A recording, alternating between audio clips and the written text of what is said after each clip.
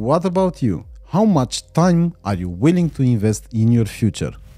How much time are you willing to invest in your career to be on the successful list? How many hours per week will you allocate to practicing? How are you planning to spend your practice hours from day to day across the week? Write down the answer on how much time are you planning to spend on a weekly basis as you'll need it later when you want to apply. And the answer to your question, how do we earn our bread? How do we earn our money? How do we earn our wages? We provide services such as web developers in a combination of freelance, hired, and business. More than 80% of our WOW members are hired and less than 20% of them run their own business. A quarter of them all are doing freelance besides their job or business. To join a team and practice daily, subscribe to Join WOW DoP and apply.